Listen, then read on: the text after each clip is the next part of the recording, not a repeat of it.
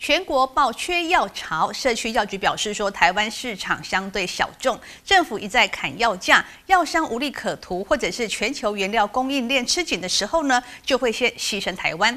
一旦国内药剂量不足，药商优先供应医院，规模小、用量少的诊所和药局首当其冲就先缺药了。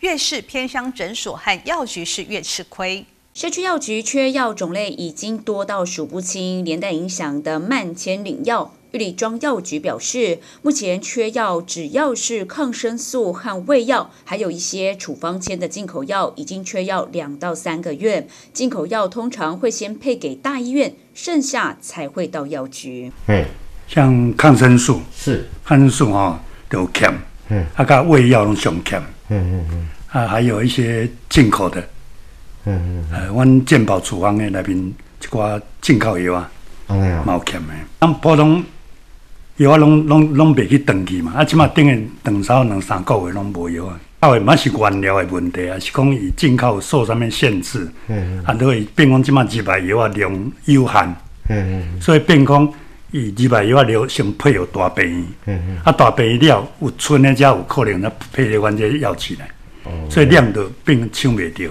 缺药的部分也发现另一个问题，有些老人家会认药，如果开给替代药物就不肯服药。不过也有民众倒是认为紧急状况还是会勉强接受换药。